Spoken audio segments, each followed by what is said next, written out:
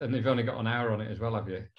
An hour a week, and wow, it's hard to teach boys to play football in a, an hour a week. I end up giving them homework, but actually, that's another element of the platform. I can yeah. say, go and look at this. I'll put it in your folders.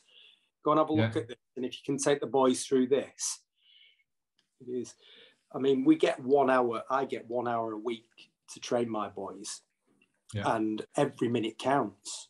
You know, so having the sessions set up there, and you know, there may be bits where I say, well, you know, we might just leave that one out and work on this a little bit, a little bit longer, or you know, it's quite flexible.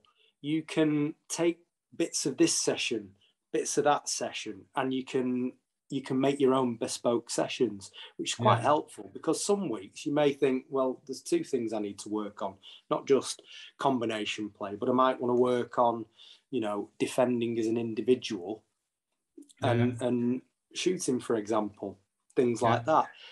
You know, as a coach, my own time's important to me. And not having to plan sessions means I get that time back that I can either put into the team in other ways or put into my own family life at home. Yeah. Uh, because the sessions are all done. I mean, that's a big consideration for me. As I say, every minute counts at those sessions. So if I can send out the video automatically before the session and they can watch uh, a preview of the session, if you like, what they're going to be doing, what they're going to be expected to do, and they can turn up then ready to do rather than me have to explain. They don't want to listen to me explain, they want to play football. So they come ready, and all that time then that you've saved, even there, five minutes of the session, it's all helpful. Yeah.